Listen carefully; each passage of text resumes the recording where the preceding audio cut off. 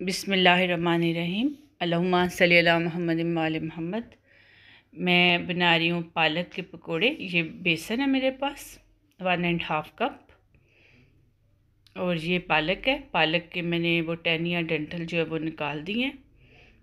और ये पत्ते हैं ये पानी है। ये स्पाइसेस हैं। ये मिर्च हल हल्दी न, मिर्च नमक और क्रश्ड करिएंडल है। और अजवाइन है, ठीक है? ये सारे इसमें मिक्स करेंगे।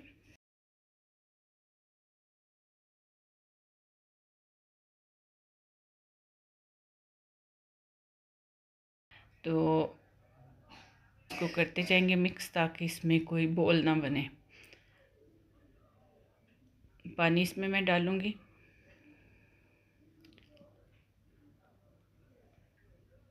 इसका एक अच्छा सा पेस्ट बना लेंगे।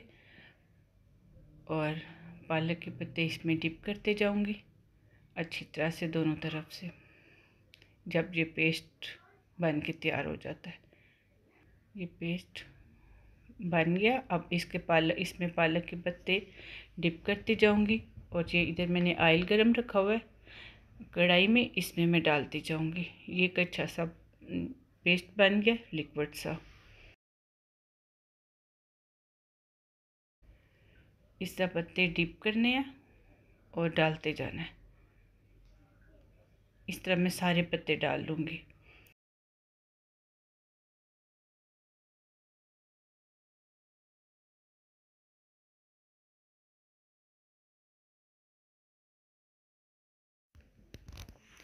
ये पत्ते इनको दो मिनट तक इसी साइड पे रखेंगे और दो मिनट बाद इनकी साइड चेंज करेंगे। साथ साथ देखते रहूँगी। ये साइड बदल के तो फिर जो है उस साइड से पकाएँगे इसको।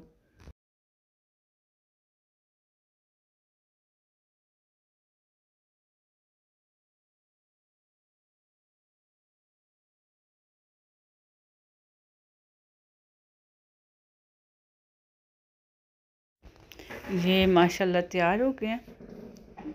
मैं इनको निकालती हूँ।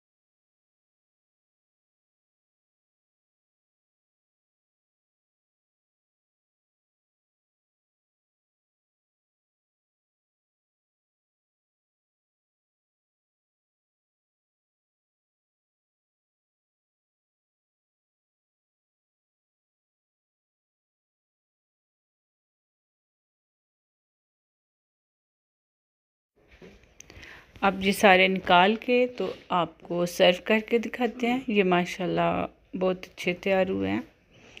आप इन्हें ज़रूर बनाएँ ट्राई करें। इन आपको पसंद आएँगे। पसंद आएँ तो लाइक कीजिए सब्सक्राइब कीजिए और कमेंट में बताएँ कि आपको कैसे लगे।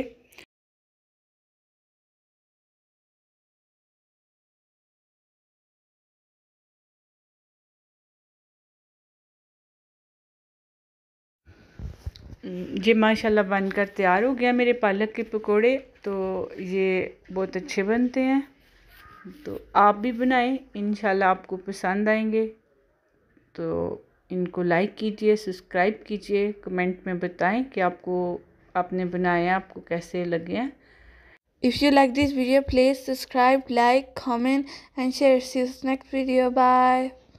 Allah Hafiz.